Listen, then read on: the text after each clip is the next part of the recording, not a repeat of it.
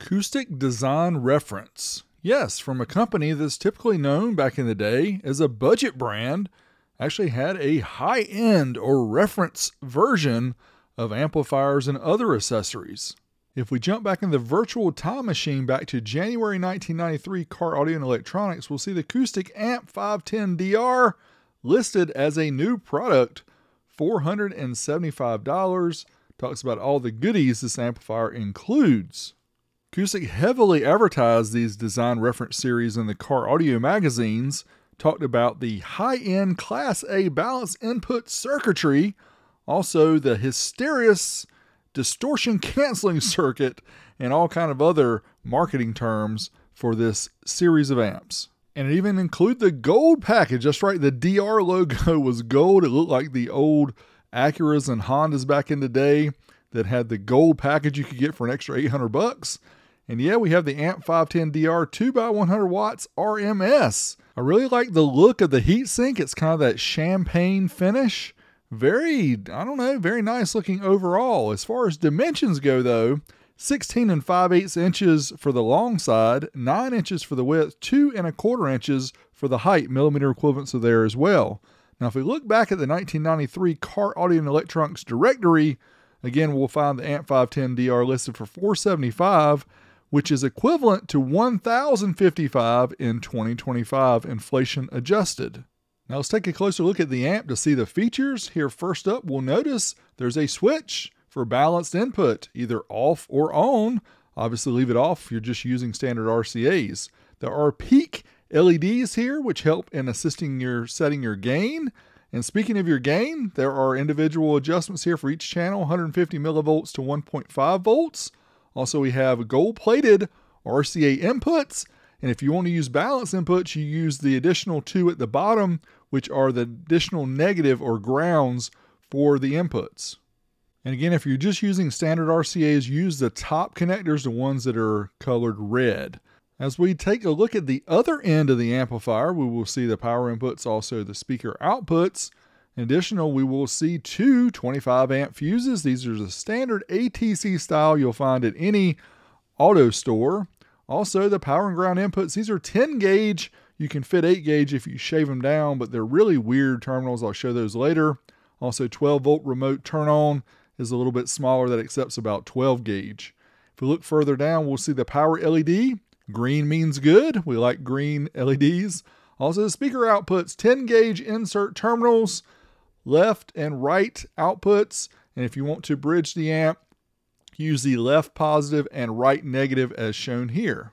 As I mentioned before, Coustic heavily advertised these because they're such a budget brand. They wanted people to understand how much better these amps were, including the 12 in channel hex FET output transistors, Class A input stage, thermal, short, and thump protection, and a lot more. As far as ratings, 4 ohms 100 by 2, 2 ohms 150 by 2, bridged 8 ohms 200 watts, 4 ohms 300 watts. So of course we want to put this amplifier on our amp dyno to find out what kind of true power output that it makes. If you haven't seen these tests before, on the left you'll see the power output in watts. In the middle, the ohm load. On the right is the voltage of the dyno. We'll also have the remote clamp estimating the amplifier's efficiency. This is a Class AB old school amp, so don't expect that efficiency to be very good. Two channel test. We'll have the left and right channels hooked up to the dyno because it does measure two channels. So let's try first 4 ohm stereo rated 100 watts by 2 at 13.8. Let's try it out. Here we go, certified 1 kilohertz. Can we get 100 by 2? Easily. We get about 125 watts by 2 average at 13.6. Here we drop the voltage down to 12 and a half to see what we get and we're still able to get over 100 watts per channel at 12 and a half volts. We also bumped it up to 14.4 to see what kind of output we could get. Again, this is the 1% distortion, and there you go, 128 watts per channel average at 14.22. Next up, we'll run the dynamic test sending the 1 kilohertz pulse track into the amp. This amp is stated to have some dynamic power, but we're not seeing a whole lot here about 133 watts per channel average at 13.67. Now 2 ohm stereos rate 150 watts by 2 at 13.8. So let's try it out. Again, certified test first, 1% distortion at 1 kilohertz. And yes, we get the 150 easily. We're uh, close to 200 watts by 2 at 13 and a half volts. Now we did drop it down to 12 and a half to see if we could still get that 150 by 2 and we can. We get over 160 by 2 at 12.28. Of course, we got to bump the voltage up too. Try it with more than 14 volts. Let's see if we get over 200 watts here. And yes, we do 221 and 212 at 14.1. Reset the dyno here for the dynamic track. See what kind of dynamic power we get. And it's a little bit more, not a huge amount more, but about 235 watts per channel at 13.62 average. Now let's bridge the amp for mono and talk about how that's done. These may be some of the worst terminals I've ever seen for the speakers and also for the power and ground. Now it says it'll fit 10 gauge. It's really difficult. This is 12 to fit 10 gauge or 8. I used 8 and shaved it off when I did the amp dyno test. But here I'm going to remove these and show you when we bridge the amp. I have to take this other one out. But again, the way this thing works is so goofy because it just it's not intuitive that you unscrew a screw above and then remove it below. But if you want to bridge it, you simply go from left positive to right negative, and that will bridge the amp for subwoofers or for a single speaker. All right, now you know how to bridge the amp. Let's try it at 4 ohms mono. It's rated 300 watts at 13.8. We're using the 40 hertz track here. Let's see if we get that 300 watts, and there you go, 391 at 13.5. Of course, we're going to drop the voltage down to 12 and a half, see if we can still get that 300 watts. And can we? Yes, we can. 317, 12.32.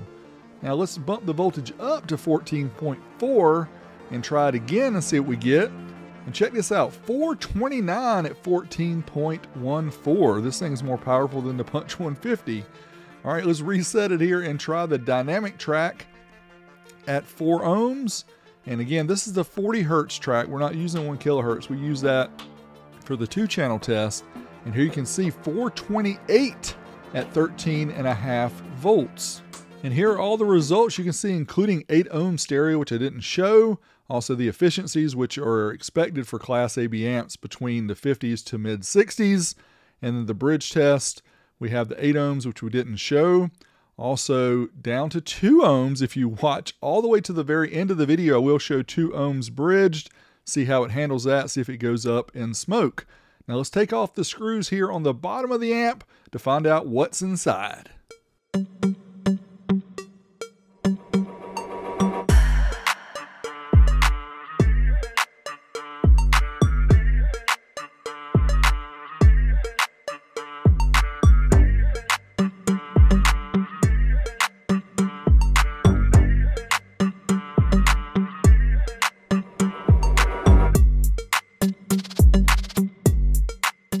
To the stamping on the board, this is a revision D board, which is a later board, has the 8200 microfarad 35 volt Cornell Dubleur or Cornell Dublé, I can't even speak that, capacitors, but it says it should have WIMA or Roederstein for the bypass, and we see Shoei.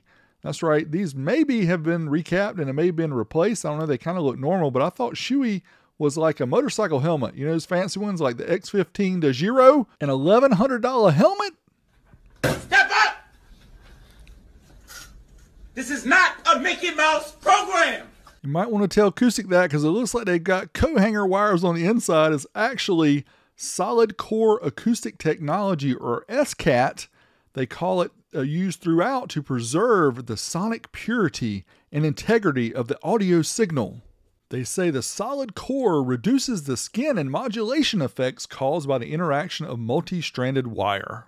So the ones believing this are running down to Home Depot to pick up their Romex wire for their car audio and for their speakers. For the rest of us, we'll stick with the stranded wire. Speaking of that, let's get the amplifier wired up here so we can try it out with some speakers, see how it sounds, because we are super curious based on all this fanciness this amplifier has. Let's get it wired up with the ELAC bookshelf speakers, get some music queued up, and here we go.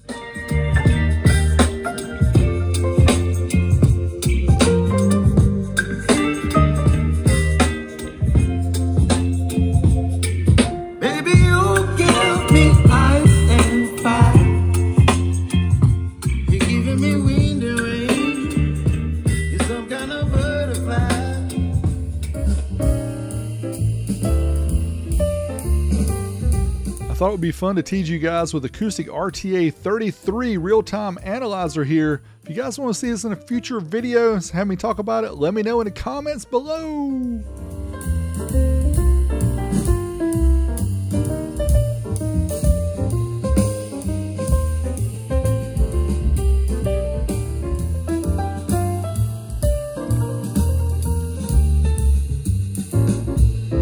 Know these sound samples are kind of useless for you guys to listen to because you can't hear what I'm hearing in person, but I can tell you this amp sounded great with the speakers. I listened to it for an extended amount of time, and I know those RTA lights just make it all better for you. Go. Yeah. I'm like an addict, do I gotta have it? I ain't even playing, got a really bad habit. If it moves, gotta grab it, fuse like a magnet. Lose, won't have it till I'm doomed in a casket. I ain't playing, got a weird mind. If you work eight hours, I'ma work nine. If the shit tastes sour, you should taste mine. I'ma stay in power for a long time Get up, nah, I ain't a quitter. Toss me the ball, I'm a really big hitter. Big picture, I'm a straight killer. Rising the song to the highest bidder. Got you Closer for a taste And I'll show you how I make everything just fade away Cause she's like sex, drugs,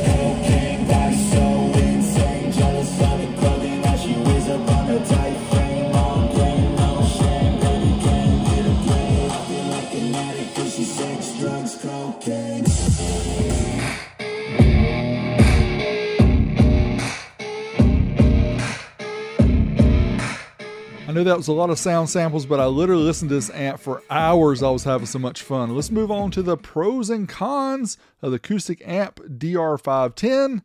Obviously, rated power plus. It does have that gold package. Has balanced inputs if you'd like. Also has individual channel gains, clip indicators for helping set your gains, high quality components throughout, great sound quality, and yes, these were made in the USA back in the day, whereas most of the other Coustic stuff was made overseas.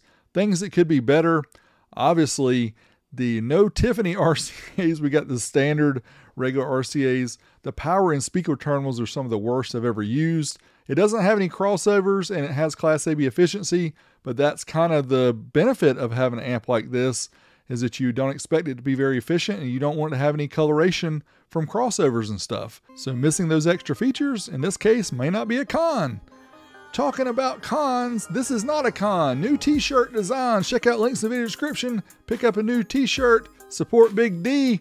Thanks as always for watching. Make sure you smash me the thumbs up. Subscribe to my channel if you haven't already. Also check my channel memberships and my Patreon if you want to help me out in additional ways like that. Everything is mucho appreciated. Hope you guys enjoyed this video. Make sure you stick around to the very end to see two ohm test. To then, Big D, I'm out of here. 40,000 at zero ohm. Zero. We'll try the Coustic bridged at 2 ohm certified 40 hertz. It's not rated for 1 ohm loads. Let's see if it goes into protect or if it works.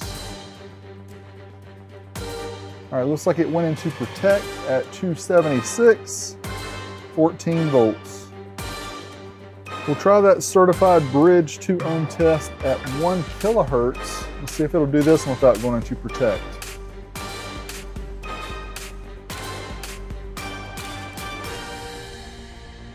Nope, also goes into protect at 14, uh, 389 at 14 volts. We put about 60 amps of current. I'm not sure if the amp will do 2 ohms dynamic bridge, but we're going to try it anyway. 40 hertz dynamic. See what it does. Okay. Looks like it does 690, but it comes in and out of uh, protection. Still 690, 14.2. Coustic DR510, let's try dynamic burst 2 ohms mono at 1 kilohertz. See if it'll do this test. it does. It does the pulse, it goes into protect, it comes out of protect, so kind of does the test, not really. This amp is not a 1 ohm stereo 2 ohm mono amp.